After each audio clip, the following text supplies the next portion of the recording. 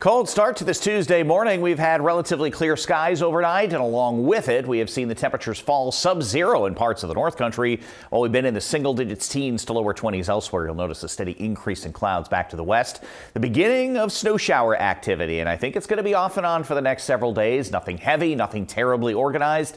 There could be a few spots over an inch of accumulation between now and Friday, so we'll time those out here with Futurecast in a moment. Highs today, about as mild as we're going to be in the going forecast today. Temperatures between 35 and 40. Noticeable breeze out of the west and northwest, just not gusty. Any early sun along with the chilly start will gradually give way to clouds. And by later in the day, especially in western areas, we may start to see a couple of snow showers pop up, but probably not before 2 or 3 o'clock this afternoon.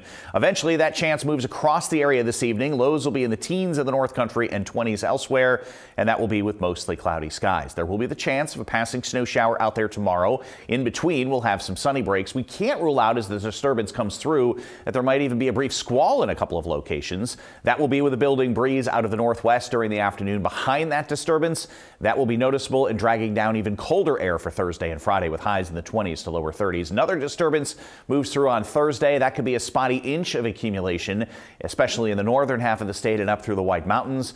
Partly sunny skies on Friday and then partly sunny skies heading into the weekend. There'll be a pretty brisk wind around during the day on Saturday and likely still pretty brisk on Sunday as well. Temperatures both days will be in the 20s to lower 30s. Storm track remaining to our south. 20s to mid 30s today. Sunshine giving way to clouds. There may be a snow shower after 2 or 3 o'clock this afternoon.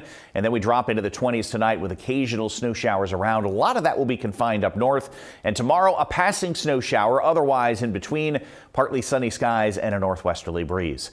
Temperatures will continue to slip back from there, 20s to lower 30s Thursday. And again, today likely as mild as we will be. There could be a little bump in readings on Friday, but even colder air dives in in time for the weekend.